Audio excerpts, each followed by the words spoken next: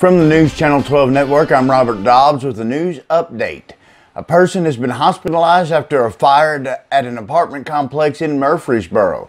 The fire happened Friday evening at the Bel Air apartment complex on Sloan Street. Officials say when they arrived, they found a fire in one of the apartments. While the fire was quickly extinguished, the apartment had fire, smoke, and water damage. Three other apartments also had smoke damage, and a resident was treated for smoke inhalation and taken to the hospital. The fire marshal's office was called to the scene to investigate.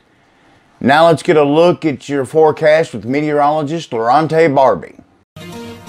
All right, Robert, as we go through the overnight, we have a massive low pressure system to the south of us, and that is what's bringing rain south of Interstate 40. And I anticipate on seeing the, the, the best chance for rain on Sunday uh, to be in parts of Fayetteville, possibly through Shelbyville uh, area, but we will keep it mostly cloudy throughout the metro Nashville area. Now, as we go throughout your Sunday, uh, but like I said, the better chance, the best chance for rain will be south of us. Uh, now for tonight, we'll, we will be right at 40 degrees. Some showers uh, again south of Interstate 40. Now tomorrow for your Sunday, the Titans taking on the Saints right here at the Nissan Stadium at noon kickoff. We're looking at mostly cloudy skies. We're going to keep it mainly dry out there. We will see temps staying in the 50s for a few more days and then 60s make a return on Christmas Day.